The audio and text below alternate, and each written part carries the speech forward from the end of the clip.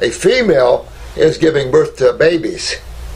And they need calcium. The babies use mama's calcium. Well, mama has a good high raw diet, plenty of calcium. But if mama has a parathyroid weakness, even on a great diet, she can't utilize the calcium out of the great diet. The baby keeps borrowing hers. and of course, the baby's chances of having a parathyroid weakness is also high. And then the baby doesn't grow well skeletally or anything else. And then they have growing pains and all the other kind of stuff. Or then they get the heads and everything else story gets worse. You poor ladies, you get postpartum depression, you give up your calcium to your babies, and you don't have that much to give up. I mean, because the parathyroid, chances of the baby having a parathyroid could be there. So then the baby can't take utilize the calcium it's stealing from the mother. So then you see where the see where it can get radical. Yeah, real radical. And then mutation of the babies assured in all, all types of places. You know, but anyway, it, it, just shows you were born probably with kidneys and adrenals. You're not filtering, and so you can be on, and this is the only way you can be on raw foods and have these symptoms if you're not filtering. Because it doesn't matter what the chemistry is coming in, it's what's not coming out. See? So it doesn't matter the goodies that's going in there, it's just what aren't you eliminating? And that's the gig. So that's why you can be on raw foods and still get a kickback from this. But ultra pasteurization takes dairy products close to plastic. So when you drink a glass of milk, you're drinking a glass of plastic.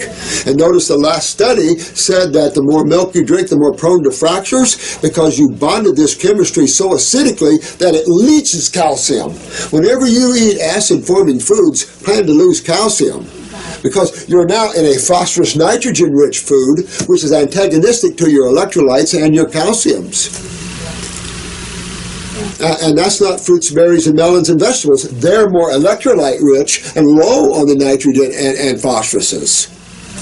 That's more suited to our blood. When you dump these this swappy jawed chemistry of high acids into the blood, you're lucky you don't die from it.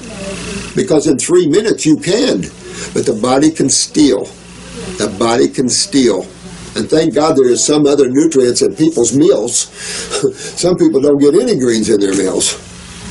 You know, I think it's deeper than that calcium has a lot to do with nerve impulses and nerve synapses. And when you're when you have weakened nerve energy, you just have a frown on your face. Calcium also probably has a lot to do with brain synapses and serotonins and everything else as well. It has a lot to do emotionally. Uh, actually, has more to do with how you see yourself, uh, how you love yourself that sort of thing. A lot of people just don't love themselves or care for themselves. The world is hard. Uh, they, they might be too big, too small, not pretty enough, or whatever, so they don't love themselves. Some even the beautiful people, quote unquote, don't love themselves. So you have a whole world of unhappiness but that parathyroid is your depression. And if you've got that, you know immediately you have parathyroid problems. And if you've been battling that, then I think you're right on with the pituitary. So that could mean you have a very chronic pituitary. Don't give up, keep working.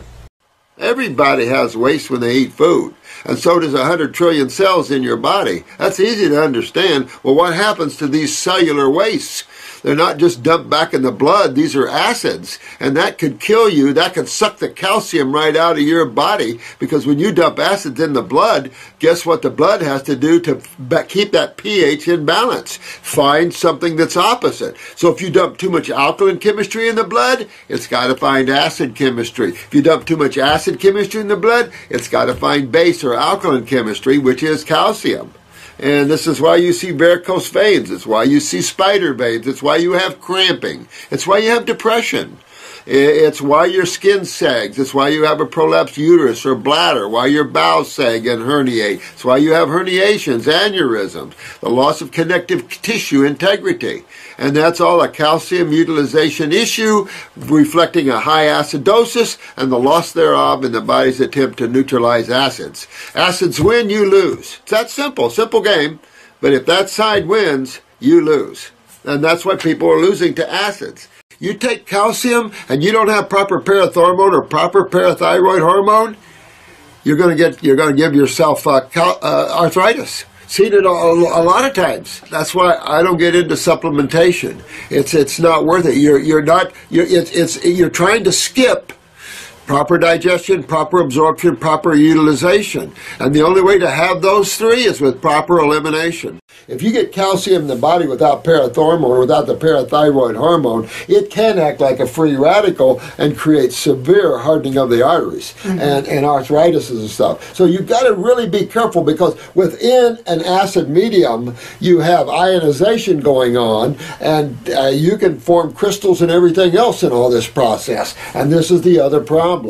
Don't take calcium, guys. Don't take calcium. Take kelp or the God's blend. It's super high in calcium. Take a plant calcium. Don't take calcium of isolates, all right? When taking a parathyroid gland, how many milligrams of calcium would you recommend? No.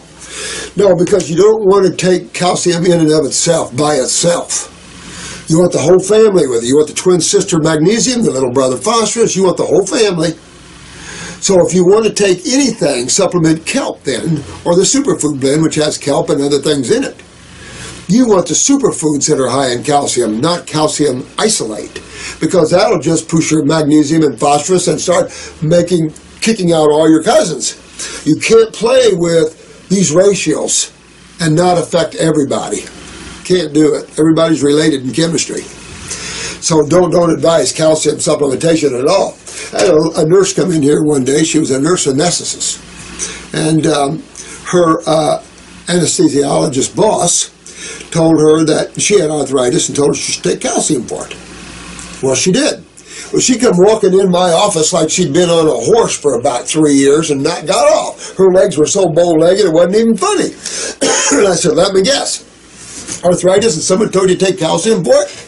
She said, well, how do you know? I said, because I see that all the time. You get hardening of the joints, you get calcium. In other words, calcium became a free radical. One, because she had a parathyroid weakness, and two, because she supplemented isolate of it. Don't want to do that.